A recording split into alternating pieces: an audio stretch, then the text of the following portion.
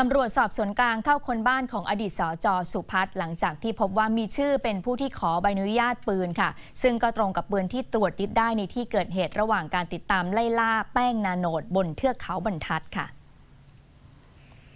ตำรวจสอบสวนกลางนำโดยกองกำกับการ 6 ตำรวจกองปราบปราม ร่วมกับชุดสืบสวนภาค 8 เข้าปิดล้อมตรวจค้นบ้านของนายสุพัฒน์อดีตสจเขาชัยสนจังหวัดพัทลุง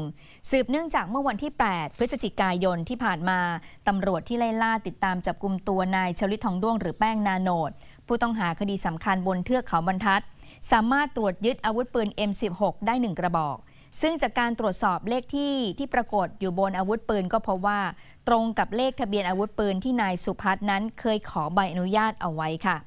ตำรวจจึงได้ขอหมายสารเข้าค้นบ้านพักของนายสุพัฒน์พบอาวุธปืนยาวลูกซองหนึ่งกระบอก ปืนยาวไรเฟิลอีกหนึ่งกระบอก โดยอาวุธปืนยาวไรเฟิลที่ตรวจพบนั้นมีเลขทะเบียนตรงกับอาวุธปืน M16 ที่ตำรวจตรวจพบ ขณะที่ไล่ล่านายแป้ง จึงได้ยึดส่งไปตรวจสอบยังกองพิสูจน์หลักฐานภาค 9 พร้อมกับเชิญตัวนายสุพัฒน์ไปสอบสวนขยายผลที่สภ.เขาชัยสนค่ะ